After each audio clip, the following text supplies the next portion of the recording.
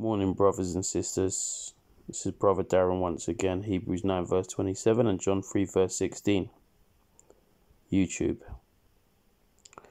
I'm taking a look at some articles right now in reference to the biblical account of the Exodus, with the Hebrews being freed from bondage under the Egyptians and under Pharaoh to be able to go into the land of Canaan and form uh, their home as Israel.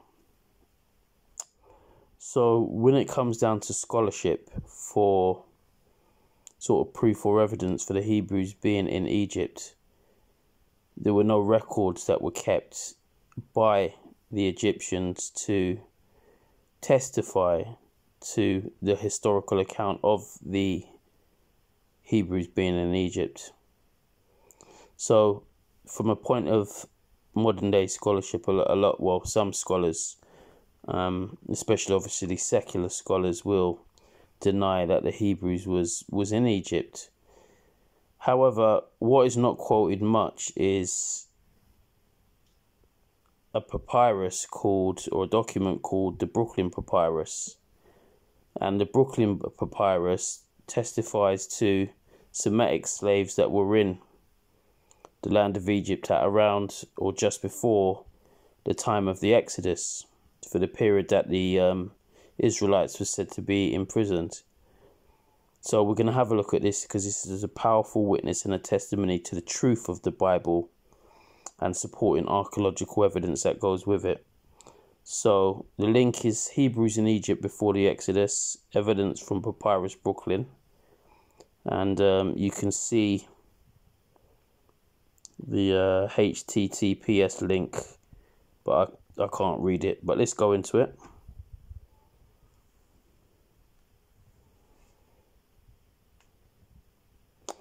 So I'm going to start reading.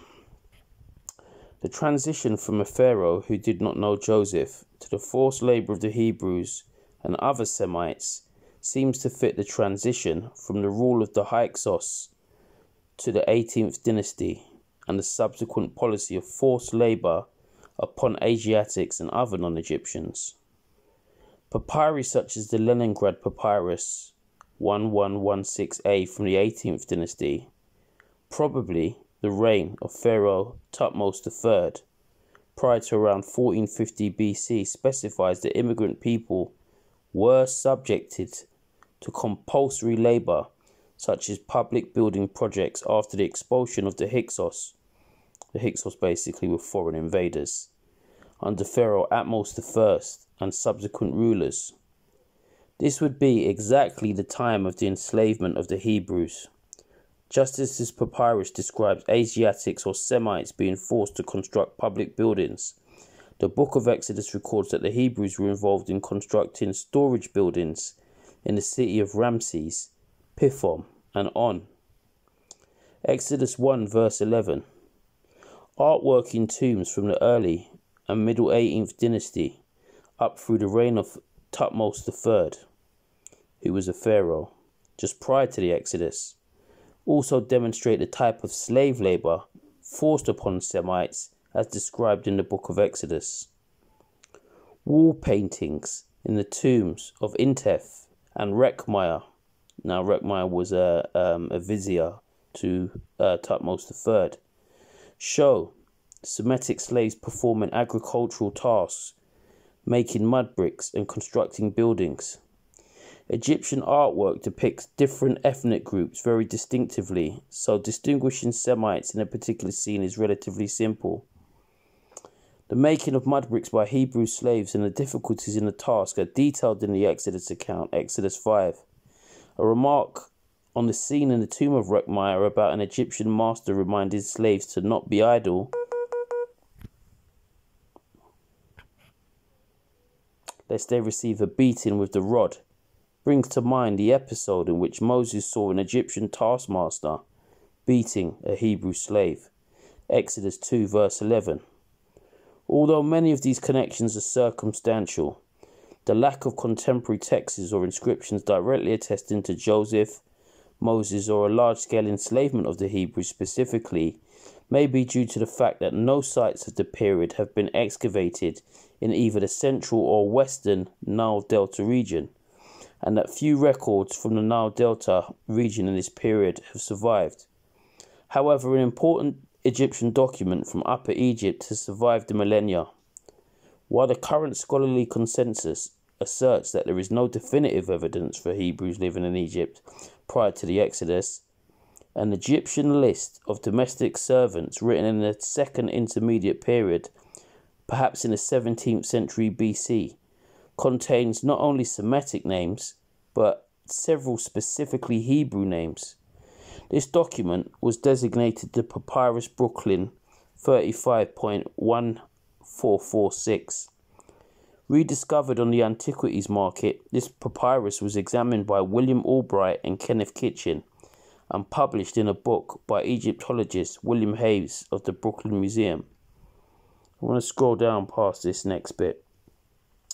But what it says is a section of, of Papyrus Brooklyn 35.1446 contains a list of 95 servants, or I would say slaves, many of whom are, are specified as Asiatic or coming from Western Asia, i.e., Canaan. The servants with foreign names are given Egyptian names, just as Joseph was when he was a household servant under Potiphar. The majority of the names are feminine because domestic servants were typically female, while the male servants often worked in construction or agricultural tasks. Approximately 30 of the servants have names identified as from the Semitic language family. Hebrew is a Semitic language. But even more relevant to the Exodus story is that several of these servants, up to 10, actually have specifically Hebrew names. The Hebrew names found on the list include Menahema, Ashera, Shiphrah. Now, Shiphrah was the name of one of the Hebrew midwives prior to the Exodus. There's also Aquabah, which is a name appearing to be a feminine form of Jacob or Yaqub the name of the patriarch. Thus, this list is a clear attestation of Hebrew people living in Egypt prior to the Exodus, and it is an essential piece of evidence in the argument for a historical Exodus. Although it appears that the Israelites were centered around the northeast Nile Delta area, the regions of Goshen and Ramses, and the cities of Ramses, Pithom, and On this document is from the area of Thebes to the south and includes household servants like Joseph in his early years, rather than building and agricultural slaves of the period of Moses.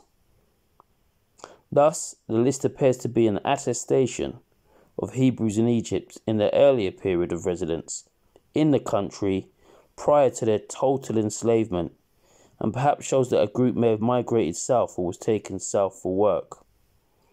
While remains of material cultures such as pottery, architecture, or artifacts may be ethnically ambiguous, Hebrew names, and possibly even the word or name Hebrew, clearly indicates that there were Hebrews living in Egypt, although rather obscure. The list includes the earliest attestation of Hebrew names that has ever been recovered in Egypt, and it demonstrates that, e- that Hebrews were in Egypt prior to the 1440s BC just as in the story of the book of Exodus records. So there you have it, ladies and gentlemen. You know, this document, this papyrus, is not even really well published or promoted or spoken about. And in line with biblical prophecy and the rest of the evidence and a revelation of who Jesus Christ was, the truth of the Bible can be seen and believed on. God bless you all. This is Brother Darren, Hebrews 9, verse 27, and John 3, verse 16.